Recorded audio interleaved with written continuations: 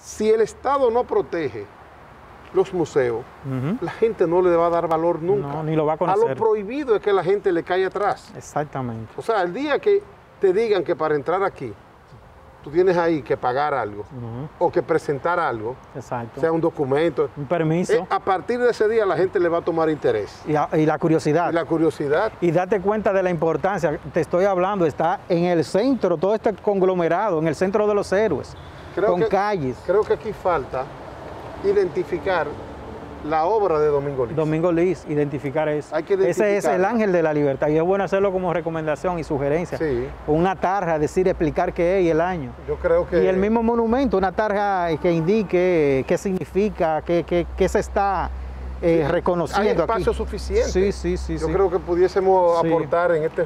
Es- nosotros en con este este, programa, con esta aporte, oportunidad. esto puede ser como una guía Sí. y puede ser turístico también para la alcaldía de, de- de- Santo Domingo, puede servirle. pues, bueno, la alcaldía Es un monumento.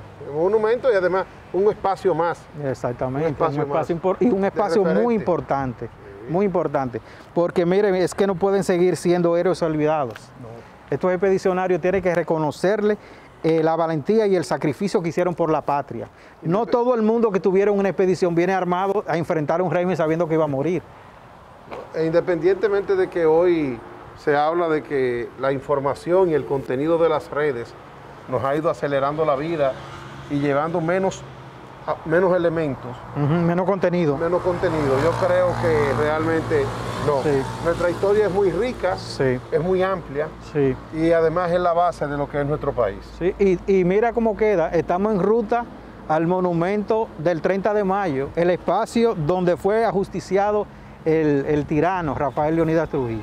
Por eso la importancia cuando hablas de contenido, por ejemplo, este documental que te dije que en cinco años un Ministerio de Educación no ha sido, no nos ha llamado para, pese a las comunicaciones, para acogerlo, eh, está en Pelidón, pelidón.com.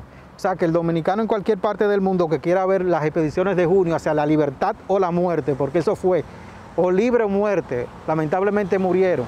Se dice que fue un fracaso militar, realmente lo fue, pero fue la gran clarinada al mundo, porque fue un triunfo moral, fue un triunfo ético, fue un triunfo de, del sacrificio, y por eso la raza inmortal. Y mire, yo me atrevería también a comprometernos un poco más y hacer que las nuevas autoridades, que- ven, Sí, las nuevas autoridades que tienen que velar ahora eh, en la administración de la educación, sí, asuman un compromiso como este, porque es un aporte, no le va a costar nada, claro, no cuesta nada. Y ya es algo y que es un puede- gran legado. que se puede introducir dentro de los nuevos esquemas de, de comunicación y de aporte y de educación.